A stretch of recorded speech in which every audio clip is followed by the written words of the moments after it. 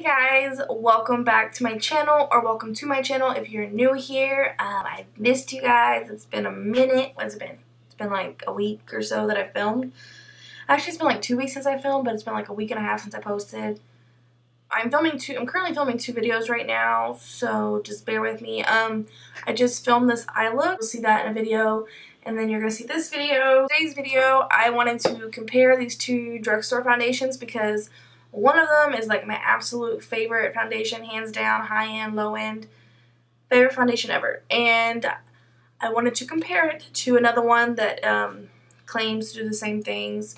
So yeah, so if you want to see me compare drugstore foundations, then just keep watching. Okay, so the two foundations I'm going to compare today are the Maybelline Fit Me Dewy and Smooth Foundation because I have been so dry lately. And so I love the matte and poreless one, so I decided to get the dewy one, and I love this one just as much. So this is like my hands down like favorite foundation. So the Fit Me has 1 point fluid ounces, pretty standard. Um, it's more for normal to dry skin. Really bumps up. This is like $5 and some change. The foundation I'm going to compare it to is the L'Oreal Pro Glow foundation. And this also has one point fluid ounces, which is, like I said, it's just pretty much standard. Um, I've tried the L'Oreal Pro Matte. I liked, I think it's, it's probably still in there. Yeah, I have the Pro Matte foundation, but I haven't worn this in a long time just because, I don't know, I, I liked my Maybelline foundation better, but I haven't tried the Pro Glow yet, so I kind of want to compare it. Um, they're both in this, well, they're both nude beige. This one's 125 nude beige, and this one is 203 nude beige. I'm hoping they're going to be like similar colors. I'm going to put Pro Glow on one side, the Maybelline on the other side, and I'm going to compare up close how they look and yeah, give you my thoughts. I'm going to put, I'm going to shake this up, I'm going to put the Maybelline on my left side. Come on, I'm almost out of this shade. I have another shade, but it's a little lighter, and I wanted to do it the closest together. Actually, I don't have any primer on my face, so this is just um, without primer.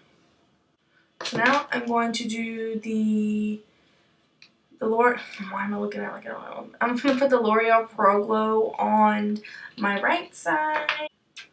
Oh, that's definitely a little lighter. Well, hopefully match. Eh.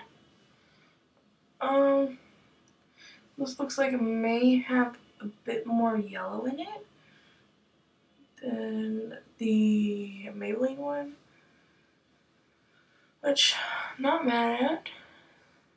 This seems to be a little, a slightly, a little more liquidy than the Maybelline one. I'm going to use a damp beauty sponge. And we shall see. Now this Maybelline shade is a tad bit too dark for me. But like I said, I wanted to get the shades pretty similar. Too dark for me. Okay. So let me zoom you in real quick. Okay, so this is the Maybelline side. As you can see, it's just dewy, which is what I'm going for.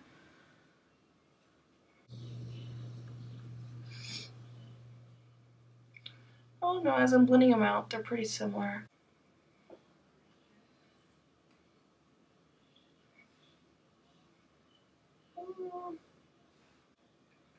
Weirdly enough, I feel like this is kind of clinging to my dry patches just a tad bit.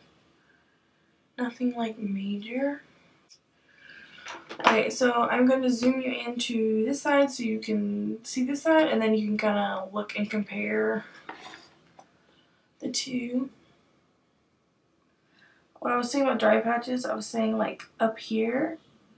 I don't know if it'll focus on my forehead it just kind of looked like it was clinging just a little bit.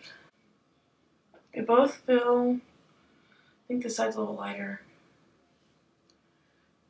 Okay, The Maybelline definitely feels a little lighter than the Pro Glow. This one feels a little more sticky. But I think I like the color better on the L'Oreal. The L'Oreal Pro Glow looks like it might have a tad bit more coverage, which could be explained like why it was a little more sticky. Which is weird though, because it's like a, it feels thinner, like, I don't know. But you notice over here, you can see my freckles more than you can see um, the freckles over here. This is the Maybelline side. This is the L'Oreal side. What I'm going to do now is I'm going to go finish the rest of my face um, off camera. Um, and then I'm going to come back and talk to you guys about how it's wearing as I put my makeup on. Um, but yeah, so this is just kind of first impressions. Like I said, I know my Maybelline. I love my Maybelline. Um, but it's first time using the L'Oreal. Let me finish my makeup real quick and then we will be right back. Final thoughts. See how the makeup applies to each side and the verdict. Don't know, they both look really nice. I'm actually really impressed with L'Oreal. I was worried that it wouldn't hold up. I think if I had oily skin still, like I usually, like I used to always have oily skin if you've been around for a while you will know my skin has always been oily. Um, but this is actually really pretty. It's nice and dewy, but I feel like my skin just looks really dry right now. But I don't, I mean, I don't think that's the foundation's fault. I think I just, I need to put a lot more moisturizer on or some shit because, I don't know, I feel like my forehead could just crack at any minute. All um, between uh, the Maybelline Dewy and Smooth Foundation and L'Oreal Pro Glow, I think they're both really nice. Um, the I will say though this is probably about $4 cheaper than the L'Oreal. So if you're really trying to save some coin, this Maybelline one, you cannot go wrong. I promise you, I promise you, I promise you. If you have dry skin or if you have oily skin, get, where is it at? If you have oily skin, I have the matte one right here. The matte one is just as lovely. I love that one for when I'm a little more oily. If you're on a budget, definitely go with the Maybelline. If you can afford to spend a couple extra dollars and you want to try the L'Oreal, it's definitely, it wears really pretty. Now, I haven't worn it throughout the day, so I can't speak for longevity of it. Does it claim to have, this says 24 hour foundation. I don't believe that just because to me, if it's a dewy foundation, I don't, I mean the coverage, don't get me wrong, coverage is really good, but I don't think a dewy foundation is going to hold up for 24 hours. I, I think it's just going to end up coming off. I don't know. That is my final thoughts. Um, which one you should choose. Um, I don't know. I like both. Um, all I'm going to say is I don't think you can go wrong with the Maybelline one. So try the Maybelline first before you try the Pro Glow just to see if you like this because then if you like this and you fall in love with it like I did, you found a steal for $5 of a foundation. Yeah, once I zoom in, just let me know down in the comments below what you guys think as far as like what side you think looks better. So this is the L'Oreal this is the Maybelline. And yeah, just let me know down below like what side of the face you think looks better or like what foundation you think looks better.